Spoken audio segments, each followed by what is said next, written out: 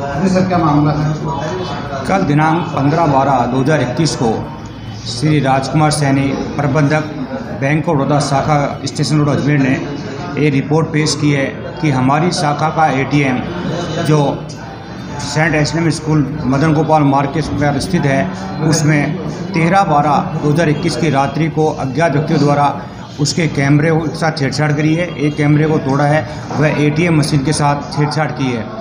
इस संबंध में प्रकरण दर्ज किया जा चुका है। वह सीसीटीवी फुटेज के आधार पर मुलजिमान की तलाश जारी है। मैं दयानंद शर्मा ए थाना कलेक्टर अजमेर